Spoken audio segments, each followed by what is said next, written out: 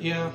So about getting my brother uh, in Charleston, South Carolina, uh, at that assisted living home. Um, the reason why I cannot go down there and get him right now is because I do not have the money uh, to go get him, even by Greyhound bus, because that costs money.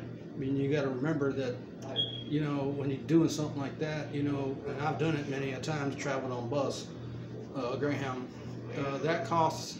You know, you got the trip down there. Uh, you know, you got to have money to eat on, and then of course when we get there, we're gonna have to have a, you know, a place to stay. You know, like a hotel or something.